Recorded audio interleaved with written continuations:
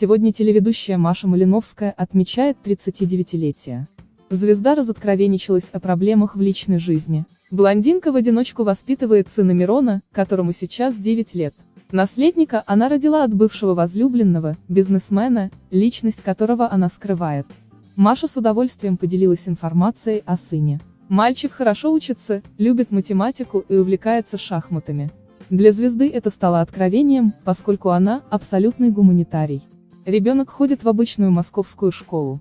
Малиновская мечтает, чтобы ее сын вырос умным, хорошим и скромным человеком.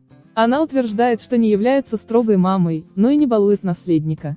А его отец отказался общаться с ним. Мирон с ним не знаком. Они ни разу не виделись. Его отец даже не попытался ни разу увидеть сына или как-то выйти на связь. Никаких алиментов, никакой помощи, ноль. Мы с ним расстались еще в то время, когда я была беременна. И с тех пор мы нашего папу не видели. Мне-то все равно, мне комфортно и без него. А за ребенка, знаете, обидно.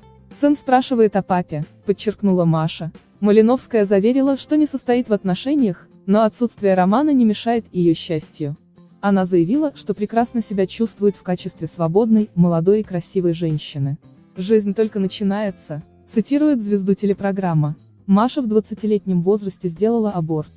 Она рассталась с бойфрендом, который не горел желанием становиться отцом. Недавно Малиновская приняла участие в гламурной фотосессии, в которой снялась без юбки. Телезвезда порадовала мужчин фигурой в красном платье без лифа.